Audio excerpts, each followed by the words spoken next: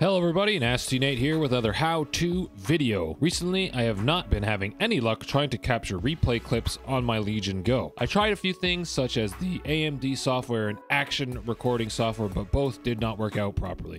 But I found a pretty easy and simple way without having to pay for any of these softwares. For this method, we're going to use the built-in Windows game bar to clip our gaming highlights and replays. To make sure this is turned on, go to your Windows settings by hitting Windows key I, the shortcut to open your settings, then down to gaming, and make sure your record what happened is turned on. Here, you can change the video quality of your clip from standard to high, and then you can adjust the length of the replay clip being recorded.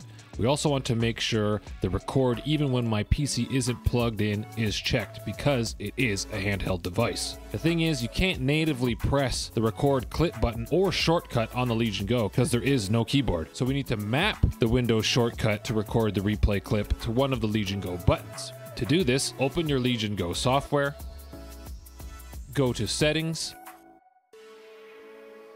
go to controller, edit button mapping, view and edit layout, and go to rear view. Here I'm going to select the button that I don't usually use. For me, it's this Y2 button. To select it, just press on the screen the Y2 button. We're going to go to key combination. It's then going to bring up a Windows keyboard. You're going to press in the default shortcut for the Windows game bar clip recording, which is Windows key Alt G, and then map it to this button. Once you're done, you can exit the Legion Go software. This doesn't need to be running because that shortcut gets written to the controller's memory, so this software doesn't have to be open. Launch whatever game you're playing. Currently, I am playing Fallout New Vegas. And when you've run around a little bit here, press your new shortcut button, and there we go. Clip recorded.